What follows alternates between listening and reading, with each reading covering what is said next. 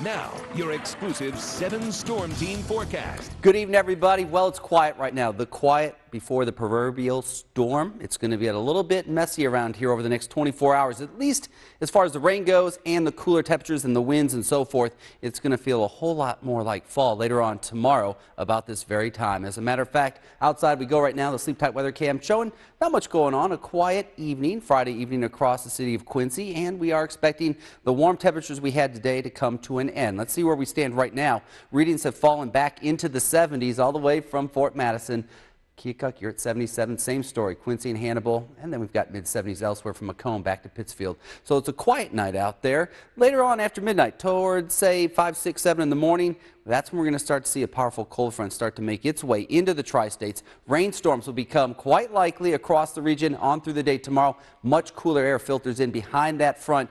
Temperatures fall tomorrow. Highs will happen early in the morning. Temperatures fall on west winds all through the afternoon into the 50s by this time tomorrow night. 77 degrees currently out at the airport. We have a partly cloudy sky. The winds are near 10 miles an hour out of the south and that dew point still way up there, making it feel a little bit humid out there at 65 degrees. Now, 88 degrees was our high today. The low was 69. Both those readings coming in well above average. The record 92, though, back in 1938. So we were four degrees shy of that, but well above the average mark of 70 degrees. So out there we go. We have uh, that front out to our west. The blue line indicating that punch of cold air that's going to try and move into our region later on tomorrow.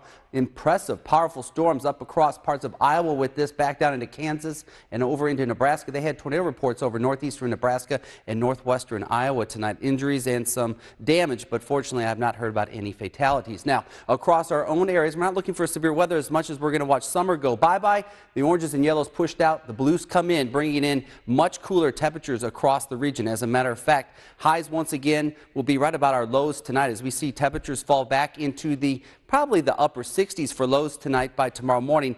That's going to be it for tomorrow, right around 70 or so for a high tomorrow afternoon. And then we'll see the cold air come in with the rainstorms and the winds out of the west gusting to near 25 miles an hour, dropping temperatures all day long. By later on this time tomorrow night, 51 or so here in Quincy with 40s just out on our western doorstep. So increasing clouds tonight. Chance of storms best late tonight. 69 degrees ought to do it for an overnight low. The entire region will have that chance of storms late tonight into tomorrow morning.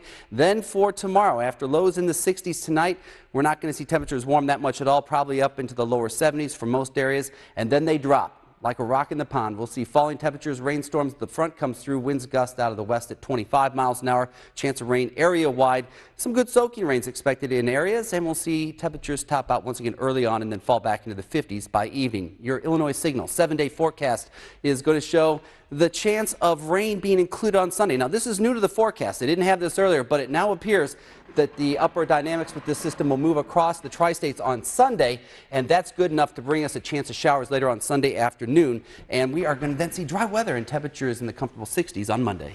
Uh, I hope the rain holds out for tomorrow because there's the Barry Apple Parade and then Mutt Strut in Quincy. All so. I can say is bring your umbrellas and your rain slickers. You're going to need them. All right. Thanks, Mike. Uh -huh.